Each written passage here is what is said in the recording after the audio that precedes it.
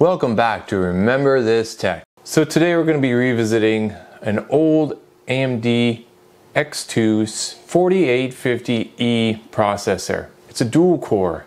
It was released back in 2009, so it's going on 13 and a half years or so. What can it do in 2023? Well, that's what I'm going to find out today in this video.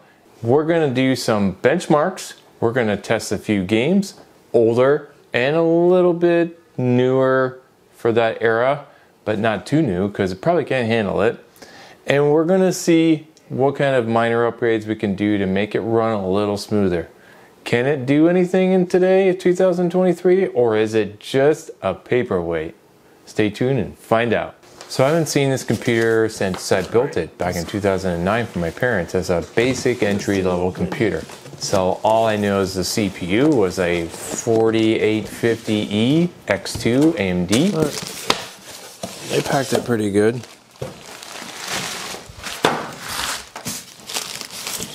So on first inspection from the backside, everything's clean. I mean, right? I know. Bare bones though, I guess. We do have a VGA onboard LAN, four USBs, audio, and PS2 ports for the keyboard and mouse. Let's flip it around. It's probably it's a little dirty on the front. Super multi burner drive. Front USB ports here and front audio and microphone jacks. It's pretty good. So I say we pop open the case and see what the inter internals look like, eh? It's probably gonna be like big dust bunnies in there and all kinds of all kinds of crud, right? One could imagine. So let's see.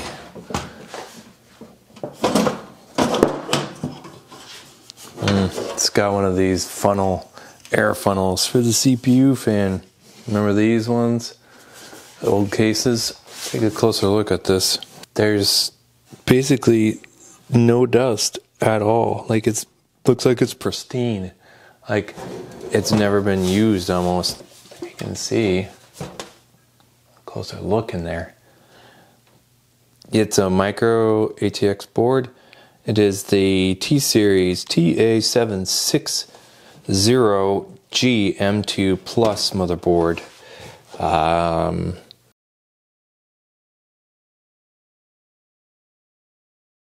This is the motherboard I put in my parents' computer, and it came out in 2009. Almost 14 years old now. So press pause if you need more time to look at something. TA760G M2 Plus. It supported a wide range of hot AMD processors, DDR2 dual channel RAM, integrated HD 3000 graphics. It's really crappy onboard graphics. You really can't do much nowadays.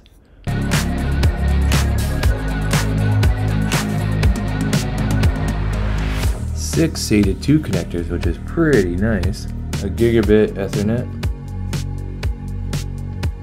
four USB 2.0, and three on the header.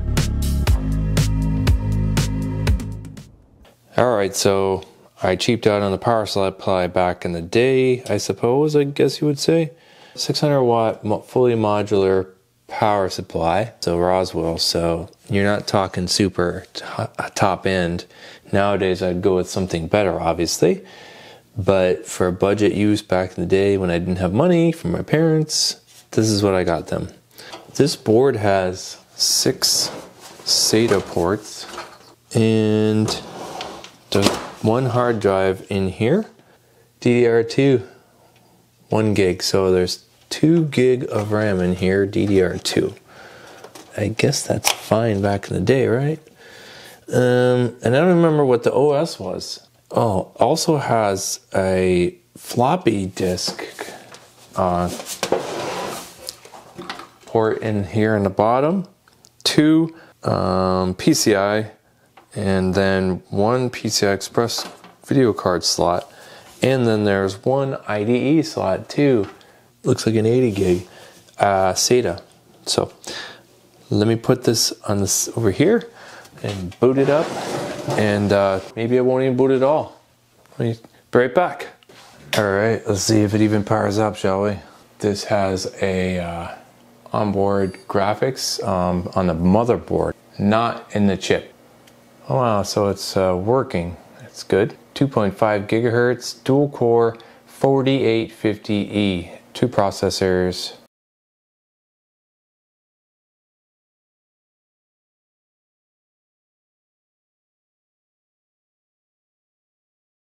Uh, 2 gig of RAM, but 256 meg of that is shared uh, to the video uh, on board.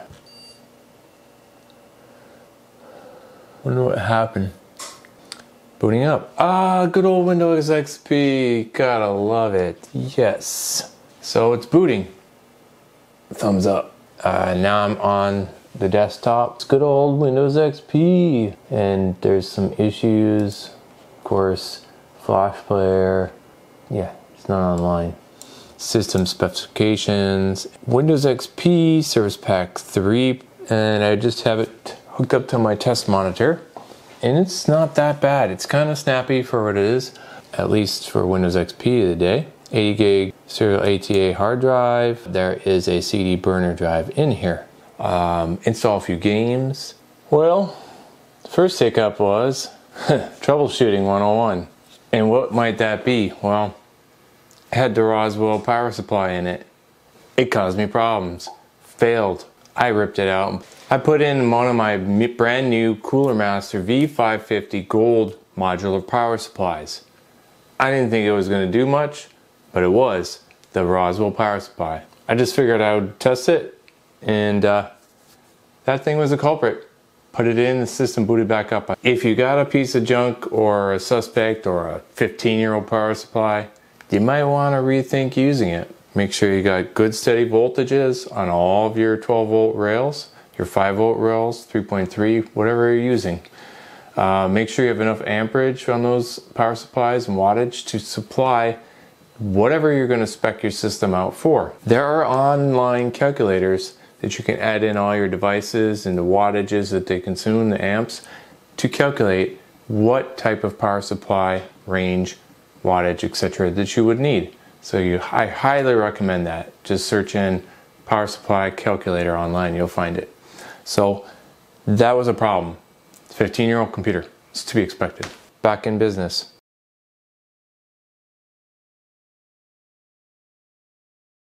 Unfortunately, when I was inspecting the um, machine, I noticed that the power supply was fluctuating and it died. So I had to replace it with a temp spare. Um, those things happen to old computers.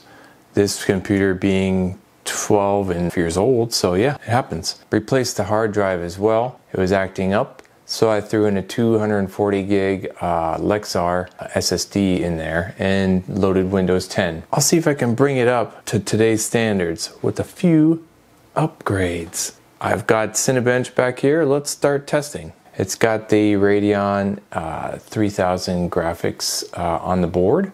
I wouldn't say it's great, but we're going to see how it performs. let's get into it and test out some benchmarks.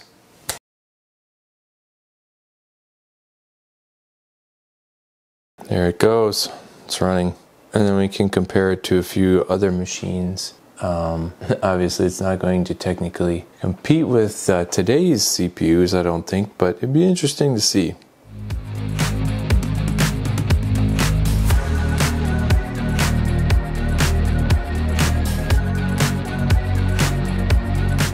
so took forever. This CPU got 426.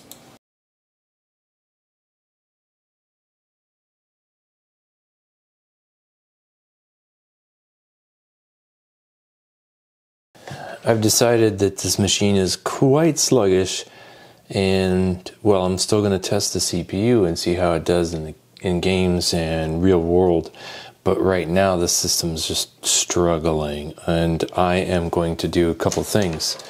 I am first going to put in some memory. I have a couple uh, 2 gig sticks from my PC parts haul, the $100 PC parts haul. I have to be able to use the computer, right?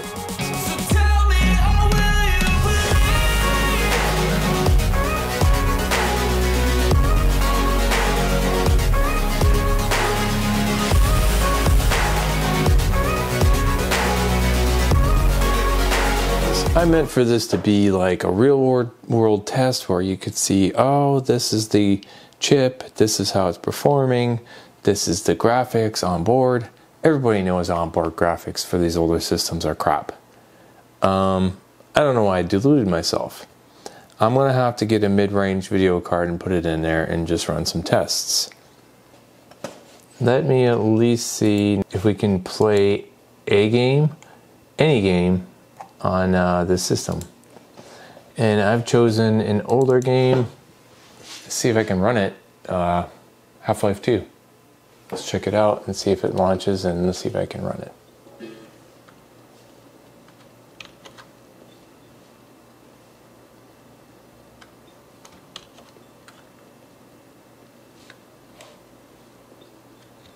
It's really struggling even with the opening cinematic.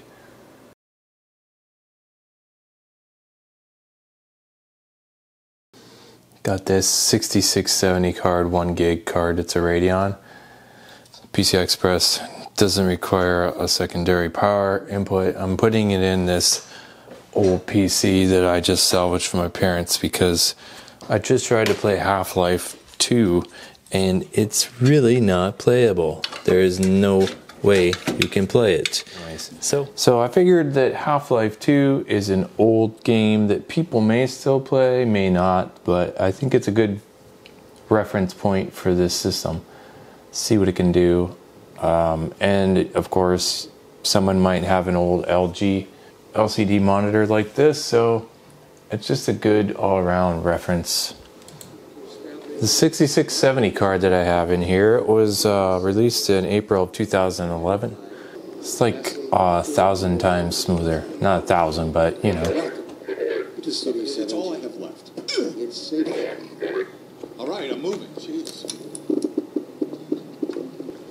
I have 60, 50 frames per second. The only ones on that train? The GPU is uh, 100% max, using about uh, 64 to 100% of the CPU spiking.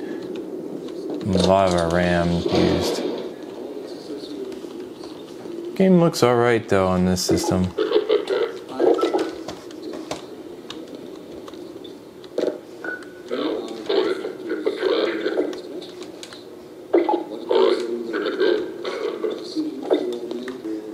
So, yeah, you can play this old game with this one gig card, 6670. There's an X2 dual core. I think I want to stretch its legs. I want to really press it and see how far it can go. And it's probably going to hold back some of the uh, newer video cards. So we'll go for this one, the old trusty 7950 HD 3 gig card. We're going to slap it in there.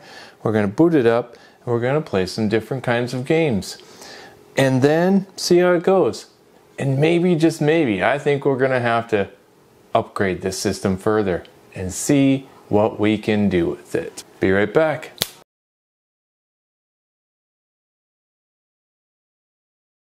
So we've got the new Radeon uh, 750 HD 3 gig card in and you can tell the textures and the reflections are much better um, with the lighting and uh, FPS is 50, 60. GPU does scale a little bit.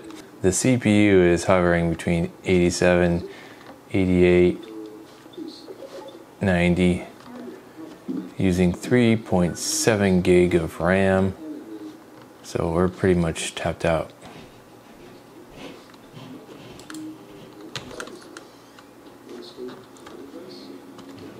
But you can play the game. 59, 56. GPU is barely being utilized in uh, Half-Life 2. So this game is easily playable uh, with the 6670 1 gig card and the Radeon 7950 HD. Depends on what you have, you know. Oh, this guy's like, he likes to punch people.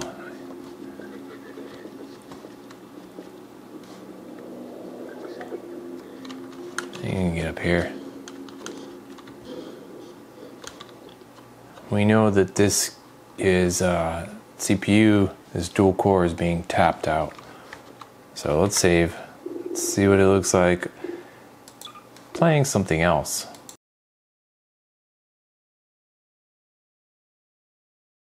The next game I'm going to try is Borderlands 2. I love Borderlands. I love Borderlands 1, 2, all of them. So I've got a pretty beefy character here. Um, FPS is 14. Um, GPU is spiking. Um, CPU is maxed. So I'm just curious on whether or not this uh, system, CPU, is bottlenecking this. Let's see if I can cap the frame rate and see if it'll help. I set it to unlimited, so let's see if we can cap it at 30. Does not help. 11, 14, 15 FPS.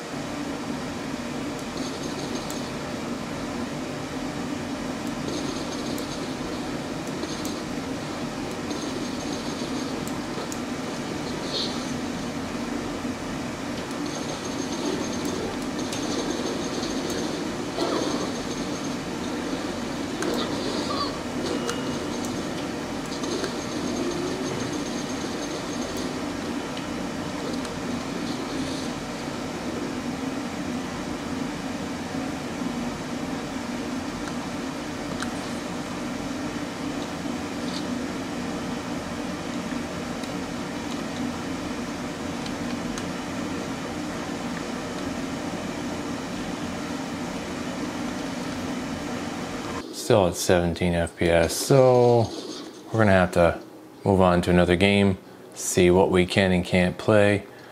But the GPU is spiking in certain spots, and the CPU is definitely maxed.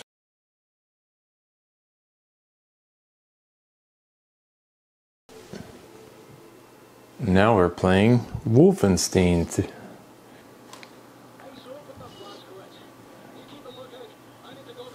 We got 15 FPS, 14. And this is just the intro cinematic. Probably gonna die. I don't know where the tools are.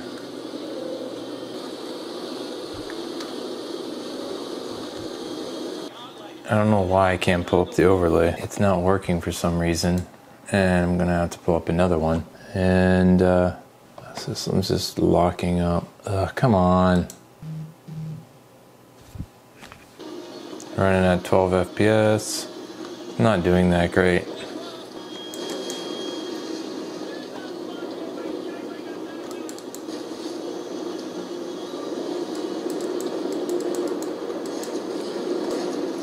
Yeah, it's hard to play this at 10 FPS, you know? Can't seem to get any of the overlay software to work for whatever reason. But uh, this game is killing me at like 8 FPS and GPU is spiking to the max. Oh, but it's really horrible. Horrible.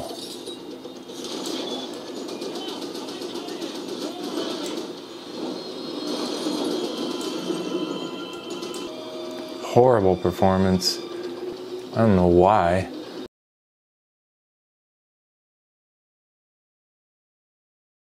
It's time to stop wasting time. I gotta do another upgrade on this machine. The CPU is severely holding it back. Enter the Phenom AMD Phenom 2 X4945 chip at 3 gigahertz.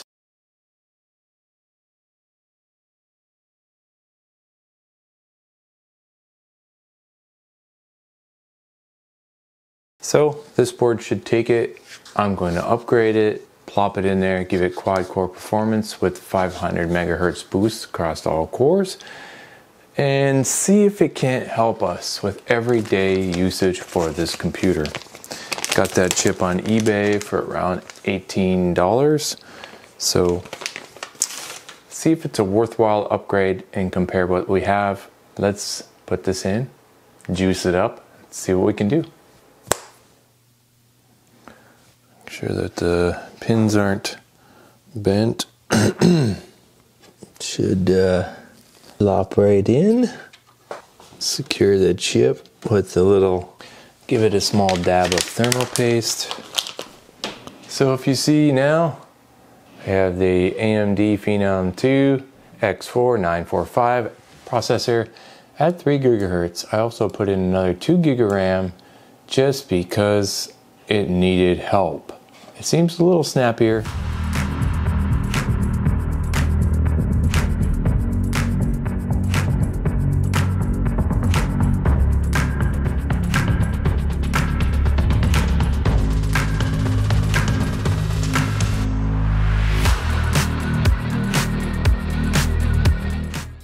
All right, we've upgraded the system uh, to a 945 uh, quad core running at 3 gigahertz per core and 8 gig of RAM. And we maxed out the settings, full screen, uh, frame rate kept 60 FPS, 1680 by 1050. That's what this monitor can do. And I'm trying to represent a feel of what it was, um, you know, 13 years ago for gaming play the game with a little bit better frame rate. So here we have Borderlands. The system has 8 gig of RAM now with the 945X4 Phenom 2 processor installed. And we have the HD Radeon 7953 gig card. Um, we're at 54 frames per second. Um, as you see here, up in the upper corner, we have the uh, ATI Radeon.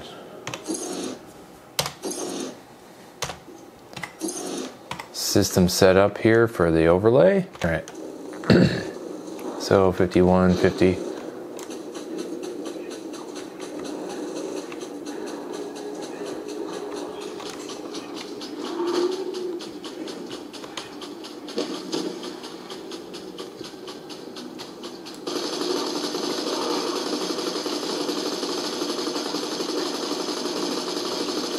holding at 52 FPS.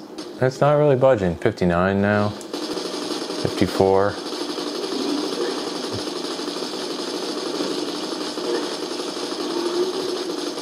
We went down to 38 with some intense graphics there, some reason. 50. So yeah, this uh, system's running good. Uh, now that we have that X4 945 processor, the system was bottlenecked previously with that X2 2.5 gigahertz processor. Just couldn't push any frame rates out. Granted, 40 FPS isn't great, but for this game, 100% playable.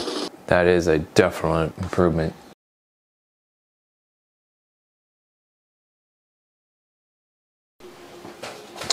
So the overlay for the Radeon is just not coming up with this Wolfenstein New Order, but we're at 59, 60 FPS.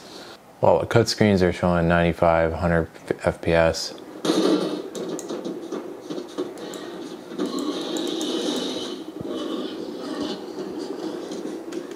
Game being held back by that dual core X2 processor. Now we're at 35 FPS, 32 FPS. Alright, so 30 FPS, 30, 43, 44.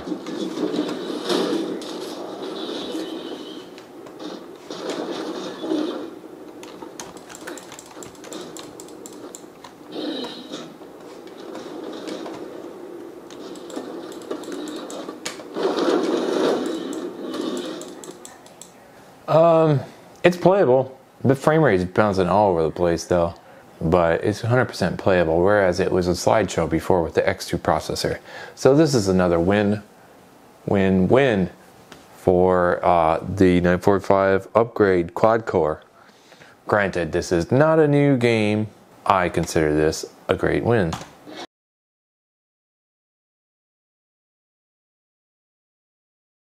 So, what have we figured out from this video? You need spare parts for an old machine. Make sure you're ready for fixing, troubleshooting, all that stuff. It's going to happen. You know, no machine is going to last 12, 14 years. Power supply failed on this machine, replaced it. Hard drive, replaced it. Is it playable the way it sat when I first got it? No.